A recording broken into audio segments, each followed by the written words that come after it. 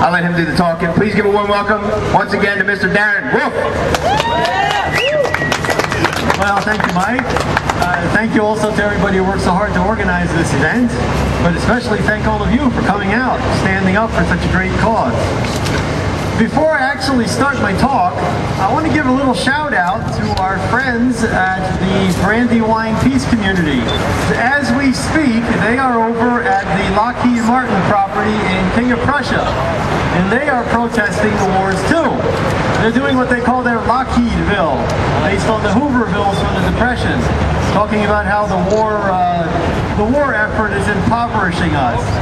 Uh, we may disagree with them uh, a little bit, let's say, uh, on the economics, but we're basically barking up the, the, the same tree, though in different ways. No, actually, Bob, that was a good uh, a good uh, speaker for me to follow because I'm actually going to touch on some very similar issues. Um, last Sunday, I was in a gun control debate over at the Ethical Society.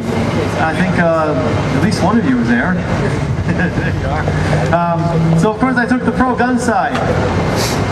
And what I'd like to do is actually give you about half of the opening statement that I gave over there, and then talk about some of the issues that I was bringing up. So here we go. The opening statement that I gave at this gun control debate. So the fundamental issue here is self-defense. Is this a right or is it a privilege granted to us by politicians? Is self-defense an inherent natural right or something that the government can take away at its whim? Well, no issue can be looked at in a vacuum. Every issue, uh, we have to look at the uh, basic assumptions and the moral implications.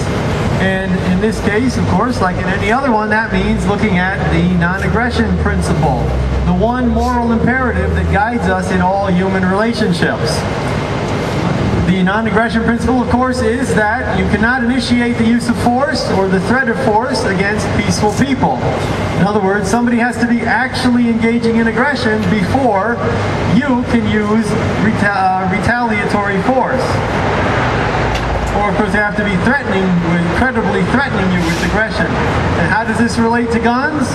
Well, very simply, the possession of an inanimate object, here you have to use your imagination a little bit, possession of an inanimate object aggresses against nobody. So there is no moral justification for taking guns away from people that adhere to the non-aggression principle because this would involve initiating force against them. Property rights also have their role in this equation. People have a right to their property and of course guns are property. So if you use force to take weapons away from people, that's theft of those weapons. I'm sure we all agree that uh, theft is immoral, right? Yes. Yay. okay, thank you. It makes me feel more comfortable being in this crowd. all right. Now, there are times when uh, force is justified, and that would be self-defense. If um, somebody's actually aggressing against you, but they have taken your guns away, well, they've taken away your ability to use defensive force. And of course, that's just another way that gun control violates people's rights. Now, before anybody says, oh, well, that all sounds real good in theory, but just doesn't work out in the real world, uh, let's take a look at how that works out in the real world. Now, to talk about all the tyrannical governments that have killed, tortured, raped, imprisoned, uh, exiled, enslaved, and stolen from the people they've disarmed, uh, that would take much more than the two hours that we have for this whole debate. Gun control is, in reality, people control. And that starts from some very racist roots. For example, in Maryland, the law once read uh, that no Negro or other slave within this province shall be permitted to carry any gun or any other offensive weapon.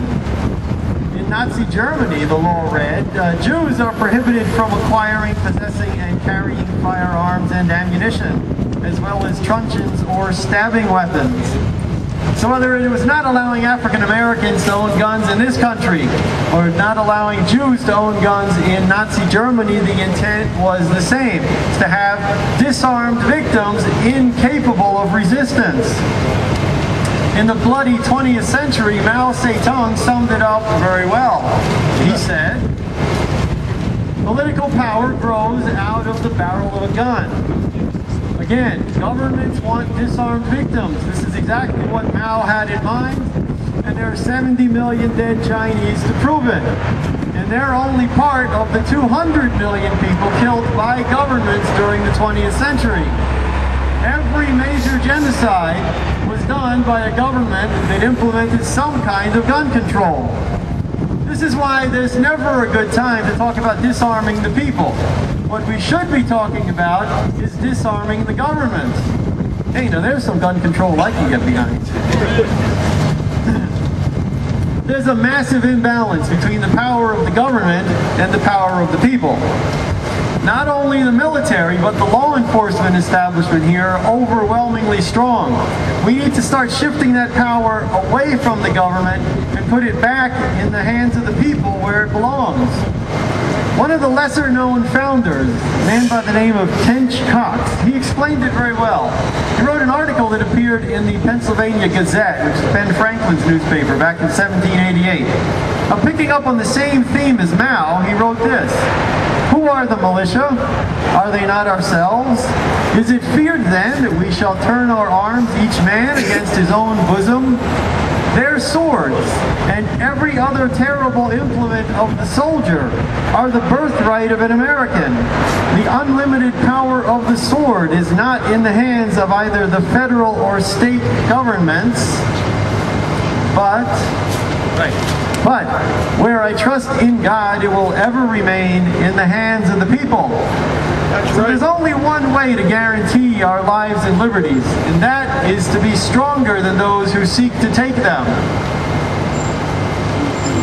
Okay, at this point I'm going to stop with the speech that I gave last Sunday, and I went on to talk about crime statistics and all of that, uh, things that uh, I'm pretty sure you guys are pretty familiar with. Let me elaborate on what I mean. The founders warned us against having a standing army. They knew that such a force would be used to oppress us. Today, the uh, standing army we have to worry about is the law enforcement establishment.